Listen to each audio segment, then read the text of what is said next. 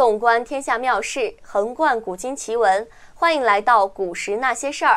我是主播小可。如果您喜欢我们的节目，请点击下方订阅和小铃铛。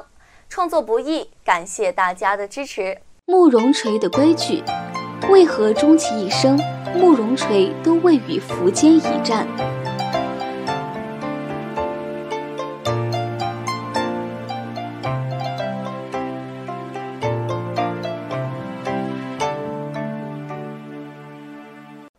慕容垂是五胡十六国时期的名将，一生都少有败绩，曾经击败过东晋大司马桓温，还在六十岁的高龄重新恢复燕国称帝。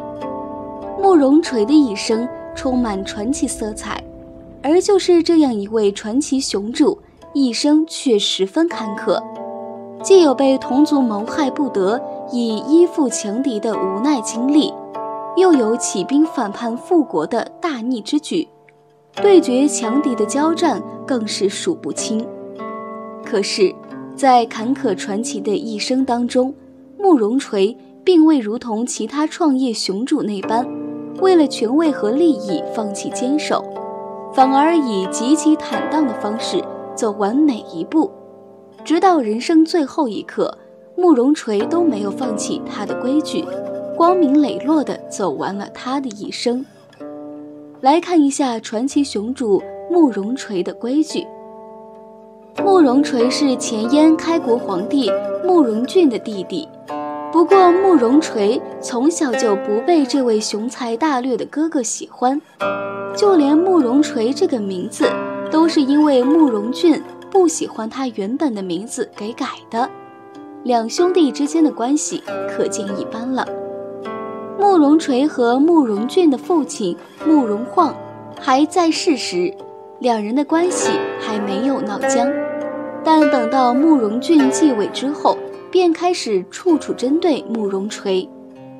慕容垂的妻子出身段氏，是段部鲜卑首领段莫波之女，自认为身份高贵，便素来瞧不起慕容俊的妻子可族浑氏。等到慕容俊继位之后，可族浑氏成为皇后，就找机会诬陷段氏行巫蛊之事，将其收押入监。再加之慕容俊不喜欢慕容垂，便让人对段氏严刑拷打，想要让段氏诬告慕容垂谋反。不过段氏知道自己一旦屈打成招，便会置丈夫慕容垂于死地。于是坚决不肯招认。慕容垂得知妻子的凄惨遭遇后，心疼妻子，便私下里派人告诉段氏说：“人都会有一死，为何还要遭此劫难呢？还不如服药自尽。”但段氏也是刚硬，说：“我甘愿忍受毒打，却不选择自尽，是为了自己的清白。”于是段氏更加刚硬。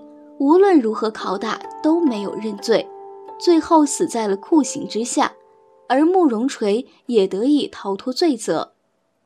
段氏的遭遇便可见慕容垂与慕容俊之间的关系，故此慕容俊在位之时，慕容垂也并未得到重用。慕容垂即便才能再卓著，也只能选择低调行事，甚至。连自己的妻子人选都无法控制，被可族浑氏选择了自家女子选配给慕容垂。直到慕容俊死后，慕容恪辅政，对自己这位弟弟慕容垂才开始栽培。慕容垂也开始在前燕崭露头角，随慕容恪打下了赫赫战功。不过好景不长，慕容恪死后。前燕皇帝慕容伟和辅政的慕容平，并没有重用慕容垂。直到东晋桓温第三次北伐之时，慕容垂见前燕抵抗不利，被桓温长驱直入，威胁前燕国都邺城。低调保存自身的慕容垂，终于不再选择退避，率军击败了不可一世的东晋大司马桓温。而慕容垂的不世战功。却引来慕容伟、慕容平以及太后可族浑氏的忌惮，怕慕容垂功高盖主，威胁皇权统治。慕容平和可族魂氏暗中想要除掉慕容垂，慕容垂幸亏得到慕容恪之子慕容凯的告密，才得以逃出京师。慕容凯等人劝告慕容垂先发制人，除掉慕容平等人，便可以解除危机。慕容垂不忍，拒绝了反叛的提议。出城之后，又遭儿子慕容麟告发，慕容垂只得跟儿子慕容令逃到了前秦苻坚处。慕容垂对慕容氏可以说是仁至义尽了，在慕容俊、慕容平等人如此不待见的情况下，慕容垂在前燕危急时刻站出来，消除了桓温对都城的威胁。这本是应该得到嘉许的不是战功，但却因慕容平等人的嫉妒而逼得慕容垂远走。被逼得投奔大敌的慕容垂彻底对慕容氏死心。等到后来前秦攻灭前燕之后，慕容垂便建议苻坚杀掉慕容伟和慕容平等人，可见慕容垂对这些慕容氏之人的痛恨。等到淝水之战后。慕容垂也并未与各起兵的慕容氏有多么紧密的合作。西燕建立者慕容宏是前燕末帝慕容伟的弟弟。等到慕容垂起兵建立后燕之后，慕容宏得知消息后，不但没有选择去投奔慕容垂，而是逃被逃到北地聚拢部众。之后，慕容垂更是率军攻灭了西燕。足见慕容垂与其他各慕容氏之间的恩断义绝。慕容垂与慕容氏之间的关系，可以用仁至义尽和恩断义绝来归纳。面对不公待遇，慕容垂仍然在危机时刻站出来解救慕容氏危难，可依然遭到了嫉妒和排挤。但即便是在这种情况之下，慕容垂都不愿选择叛乱谋逆。在被逼走投奔强敌的情况之下，慕容垂也终是对慕容氏贵族死了心，在日后也是杀伐果断，与昔日同族恩断义绝。无论是对慕容氏的仁义，还是最后的恩断，慕容垂的行事当得起坦荡，这是慕容垂的规矩。慕容垂投奔苻坚之后，的确受到苻坚的重用和信任。最初，前秦丞相王猛担心慕容垂野心太大，成为前秦稳定的威胁，使出了金刀计，想要诬陷慕容垂反叛。但是依然受到苻坚的信任，并未责罚慕容垂。慕容垂经此一难，更加对苻坚抱有感激之情了。就这样，慕容垂一直待在前秦。虽然因王猛的戒备，慕容垂甚至无法领兵。只能担任京兆尹十四年，直到淝水之战时，苻坚才让慕容垂领兵出兵。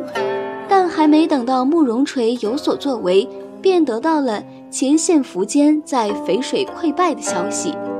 当时只有慕容垂手下的三万军队得以保全，所以自前线狼狈而还的苻坚直奔慕容垂而来。这时，慕容垂的心腹建议。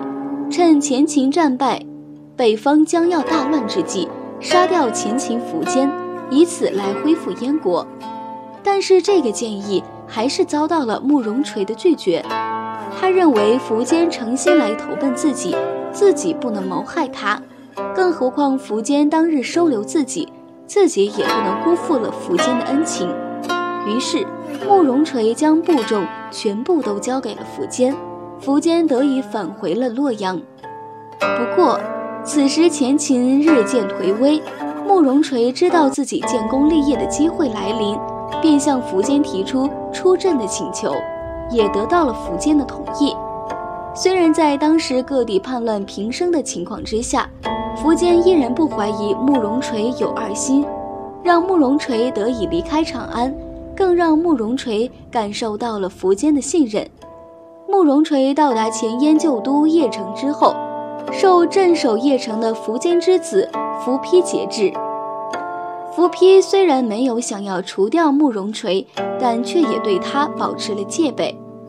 等到后来丁陵人翟兵叛乱之时，苻丕派慕容垂率军攻打翟兵，并派伏飞龙做督军防备慕容垂反叛。等到慕容垂率军出征，趁机将敌秦士兵分散，最后杀掉了伏飞龙。之后还写信给苻坚，告知他杀掉伏飞龙的原因。之后，慕容垂自称燕王自立，恢复燕国，建立后燕政权。之后。慕容垂率军攻打邺城，想要恢复前燕旧都。伏丕在邺城被慕容垂围困，派遣侍郎江让前去与慕容垂交涉。江让对慕容垂可毫不客气，认为慕容垂不应该放弃道义，如果不能悔改，将在以后割下他的头颅，悬挂在旗杆之上。这可以说是极其狠辣的声讨了。但慕容垂却并没有责怪江让，他希望伏丕能够主动退走，自己恢复燕国之后能够保持秦燕交好。部下认为姜让说话太过狠辣，建议杀掉姜让，但慕容垂还是让姜让离开，足见慕容垂对于抵情恩情的顾念。之后，慕容垂更是给苻坚写了一封信，阐述自己离开都城之后。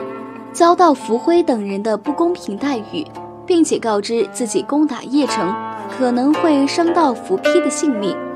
苻坚收到慕容垂的信后，也给慕容垂回了一封，说自己待慕容垂不薄，但他却趁乱起兵，忘恩负义，并警告慕容垂要做好老来做叛贼的下场。慕容垂已经坚定了恢复燕国的决心，继续攻打邺城。最后逼得伏丕逃走。之后数年间，后燕政权规模逐渐扩大，基本恢复了前燕昔日的规模。但是慕容垂却直到最后都没有与苻坚交战，并且后燕国土范围也没有超出过往前燕疆域，算是慕容垂对苻坚恩情的顾念了。慕容垂起兵建立后燕政权，这算是在前秦丧乱之际。趁机建功立业的选择了。虽然对于前秦来说，慕容垂这是起兵叛乱，是苻坚口中的老儿为贼，生为叛臣，死为逆鬼，但慕容垂起兵也起得光明磊落，并没有以讨灭敌秦为由壮大自身。